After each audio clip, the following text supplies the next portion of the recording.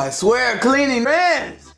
Wait, Junior, is this your bowl of Megamind. I'm sorry, Chef Pee I got it in my eye? I'm sorry, Chef Pee Oh, you You suck. What did you say? Bowser! Do the Mario! You ain't your voice at me, boy. You use your inside voice. You got me? Look, Junior's making a mess and he's sick. He's sneezing on everything. Oh, God, you're his dad, so take care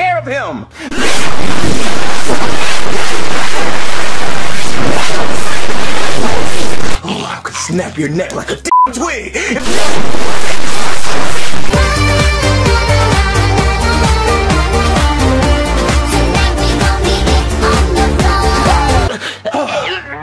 God, let me check on the stupid ass boy. Junior, Chef Pee said you're like a twig. What? Who made this mess? Uh, uh, Chef Pee did. Snap your neck like a damn twig.